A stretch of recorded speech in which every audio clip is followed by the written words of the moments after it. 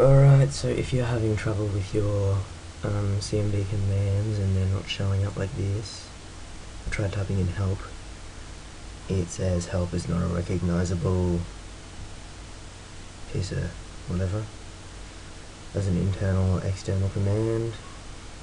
If you're having trouble and this is happening to you, then just what you need to do is if you type in path, all these things will come up, but they're just directories. You will need to do where is it? This one here. This is what it's going to look like. So you're going to have to type path space C drive or C colon slash um, backslash Windows and so on. That's what it's going to look like. Just that.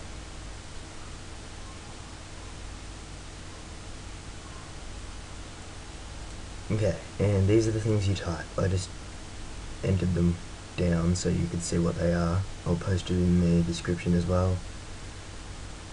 And yeah, that's how you fix the error. Thank you and subscribe.